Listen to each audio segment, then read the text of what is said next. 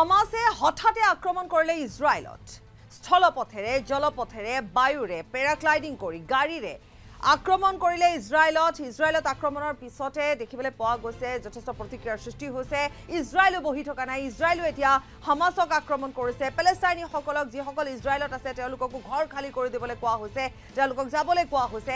আৰু লগতে কোৱা হৈছে যে এটা এনেকুৱা ধৰণৰ দ্বীপলৈ পৰ্যবেক্ষিত কৰিব এতিয়া গাজা ষ্ট্ৰিপক। আৰু তাৰ বাবে এতিয়া সাজু হৈছে। আৰু এটা অকলশৰীয়া দ্বীপলৈ তাক প্ৰত্যাৱৰ্তন কৰিবলৈ ইতিমধ্যে ইজৰাইল সাজু হৈছে। ইজৰাইলে কৈছে যে একাষৰীয়া কৰি থ'ব আৰু কোনো হামাছ তাত নাথাকিব।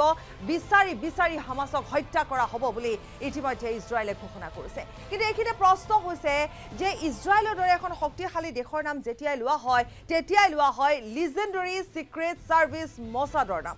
গতিকে মছাদ ক'ত দুৰ্বল হ'ল? ক'ত দুৰ্বল হ'ল মছাদ? যাৰ বাবে হামাছে সুযোগ উঠিয়াব উঠাব পাৰিলে বা হামাছে এনেধৰণে হঠাৎ আক্ৰমণ কৰিব পাৰিলে।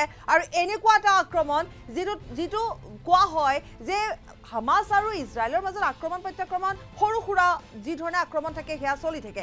কিন্তু এনেকুৱা এটা ডাঙৰ আক্ৰমণ পঞ্চাছ বছৰৰ পিছত হোৱা বুলি ক'ব বিচাৰিছে। কিন্তু যিয়ে নহওক বৰ্তমান ইজৰাইলো সাজু হৈছে ইজৰাইলেও যুদ্ধ কৰিছে ইজৰাইলেও এতিয়া প্ৰত্যাক্ৰমণ কৰিছে আৰু এই আক্ৰমণ প্ৰত্যাক্ৰমণত বহু লোক নিহত হৈছে।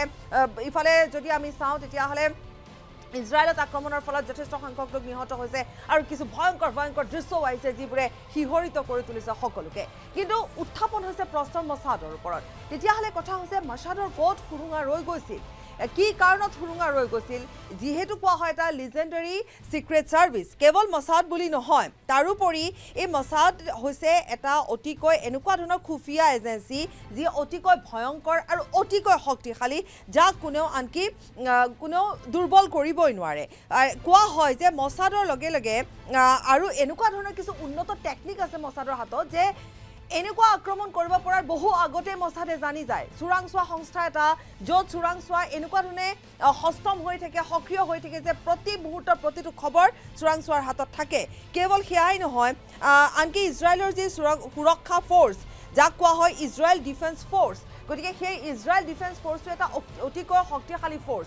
তেতিয়াহ'লে ক'ত সুৰুঙা ৰৈ গ'ল ক'ত সুবিধা পাই গ'ল ক'ত হামাছ ইমান শক্তিশালী ৰূপত আক্ৰমণ কৰিব পৰাকৈ হামাছ সাজু হ'ল। গতিকে এনেকুৱা ধৰণৰ সুৰুঙা আছে নথকা নহয়। কোৱা হয় যে ইজৰাইলে ৱেষ্ট বেংকৰ ওপৰত বেছিকৈ ফ'কাছ কৰি আছিলে।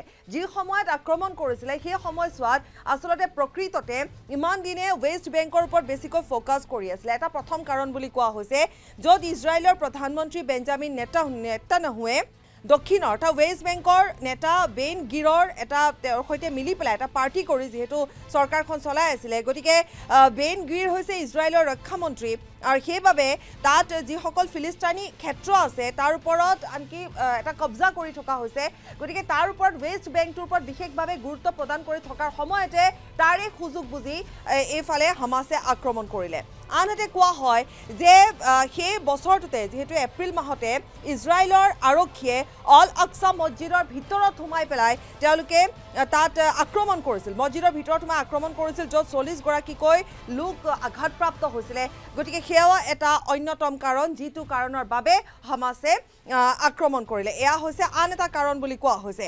আৰু তৃতীয় কাৰণটো হৈছে ইজৰাইল আৰু চৌদি আৰবৰ এটা সমঝোতা এটা বুজাবুজিলৈ আহিছিল আৰু সেই বুজাবুজি চুক্তিৰ বাবে হামাছ ক্ষুণ্ণ হৈ হামাছে আক্ৰমণ কৰিলে। গতিকে তিনিটা কাৰণ কোৱা হৈছে। কিন্তু যিয়ে নহওক হামাছ ক্ষুণ্ণ আছিল। হামাছে হামাছৰ মুৰব্বীয়ে ইতিমধ্যে কৈছে যে তেওঁলোকৰ মহিলাসকলৰ ওপৰত নাৰীসকলৰ ওপৰত আক্ৰমণ কৰাৰ প্ৰতিশোধ তেওঁলোকে লৈছে। কাৰণ যিয়ে নহওক যুদ্ধ চলি আছে। হয়তো যুদ্ধ বহু দিনলৈ চলিব। আৰু ইতিমধ্যে কোৱাই হৈছে তেওঁলোকৰ এটা উৎসৱৰ আগত অৰ্থাৎ তেওঁলোকৰ যি যি এটা যিহেতু তেওঁলোকৰ এটা উৎসৱ আছে সেই উৎসৱৰ আহ, পাছতে তেওঁলোকে আচলতে আক্ৰমণ কৰিছিল।